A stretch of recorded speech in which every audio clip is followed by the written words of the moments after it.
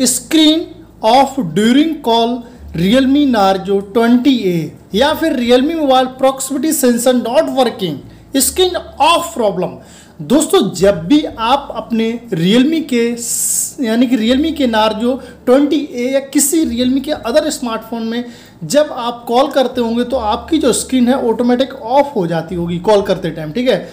अब जब ऑफ़ हो जाती होगी तो आप उसे देखते होंगे कि वो ऑन ही नहीं होती होगी।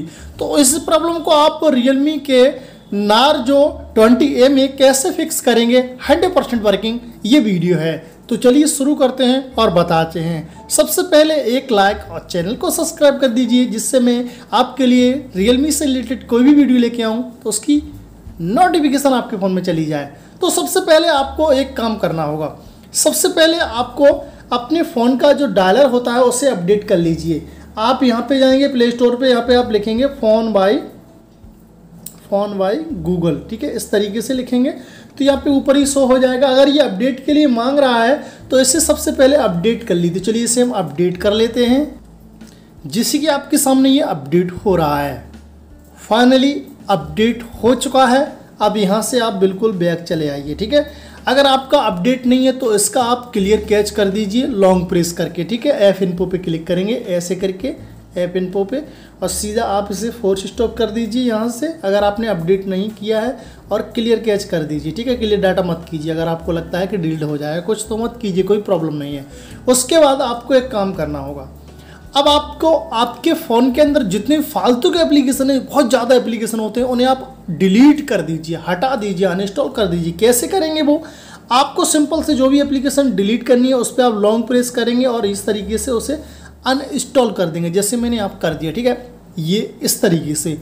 नेक्स्ट आपको अपने फ़ाइल मैनेजर पे क्लिक करना है, ठीक है? जैसे कर दिया मैंने। उसके बाद यहाँ फ़ोन स्टोरेज पे क्लिक करना है। ठीक है?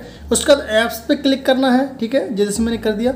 यहाँ लोडिंग होगा, एक बार इस तरीके से आप ऊपर कर देंगे, ठीक है? और फिर से आप इस तरीके से नीचे करेंगे और थोड़ा इंतज़ार करेंगे, ठीक है? एक से, यानी कि पाँच सेकंड या दस सेकंड इंतज़ार करेंगे, फिर ऑटोमेटिक इस तरीके से ये पेज हो जाएगा। उसके बाद सिंपल से आप प्ले स्टोर पर क्लिक करेंगे प्ले सर्विस पे। इसका आप यहाँ से क्या करेंगे? सॉरी यहाँ पे आप क्लियर कैच जितने भी एप्लीकेशन होते हैं, उनका आपको क्लियर कैच करना। क्लियर डाटा बिल्कुल भी किसी एप्लीकेशन का मत कीजिए, नहीं तो आपका फिर से आपको उस एप्लीकेशन में लॉगिन होना पड़ेगा। इसलिए आप उसका क्लियर कैच कीजिए ओनली क्लियर कैच ठीक है? इस तरीके से करने के बाद आपकी जो फ़ोन की स्पीड है, थोड़ी बढ़ेगी, यानी कि स्पीड बढ़ेगी और आपकी प्रॉब्लम सॉल्व होगी। उसके बाद आप यहाँ पे जाएँगे अपने मोबाइल की सेटिंग में और यहाँ पे आपको ढूंढना है एडिशनल सेटिंग ठीक है? या फिर आपके फ़ोन में डेवलपर ऑप्शन आपको मिल जाएगा। डेवलपर ऑप्शन पे आप जाएँगे, इस तरीके से आपको डेवलपर ऑप्शन में जाना है, ठीक है? अब यहाँ पे आपको एक काम करना होगा। अब मैं यहाँ पे आपको बताऊँगा, जैसे कि रनिंग सर्विसेज़ पे आप क्लिक करेंगे और यहाँ लोडिंग होगी, उसके बाद यहाँ पे आपको सेटिंग पे क्लिक करना है और स्टॉप कर दीजिए इसे। आप बाहर निकाल दीजिए सेटिंग ये। तो फिर से आप उसी पे क्लिक करेंगे। अब आपको फिर से वहीं जाना है, ठीक है? अब मैं यहाँ पे फिर से डेवलपर ऑप्शन में जाता हूँ।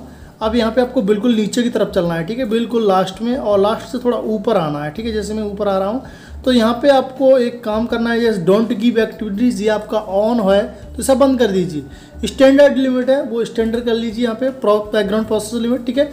उसके बाद आपको एक काम और यहाँ करना होगा, जैसे कि मैं आपको दिखाऊँगा जो एनिमेशन स्किल होती हैं, इन्हें विंडो एनिमेशन और ट्रांजेक्शन एनिमेटर ये आपको एक पे कर लेनी होगी, केवल एक पे। जैसे मेरे फ़ोन में यहाँ एक पे है, ठीक है, इस तरीके से। और जो डीपीआई है, वो आपको कम ही रखनी है, ज़्यादा नहीं रखनी है, ठीक है, ये ध्यान रखना है। तो आप यहाँ देख सकते हैं, ये कर लिया है, उसके बाद यहाँ पे आपको एक ऑप्शन और होता है, जिसे आपको करना होता है। जैसे कि ये आप देख सकते हैं अनेबल इस तरीके से अब ल्यू, अब सोल्यूट वॉल्यूम ये आपका ऑन होना चाहिए, ठीक है। इस तरीके से। उसके बाद आप यहाँ से बिल्कुल बह बाहर आ जाएँगे, ठीक है? अब आपको एक काम और करना है। अब आपको एक काम क्या करना है? आपकी फिर भी प्रॉब्लम सॉल्व नहीं हो रही है तो आपको क्या करना है? अपने मोबाइल की सेटिंग में जाना है, ठीक है? अब यहाँ पे आपको डालना है प्रेस मैंने डाल दिया है प्रेस ऊपर आ गया पा press power button to end call इस पर आप क्लिक करेंगे, ठीक है? जैसे मैंने क्लिक किया। अब इस ऑप्शन को आप ऑन कर लीजिए।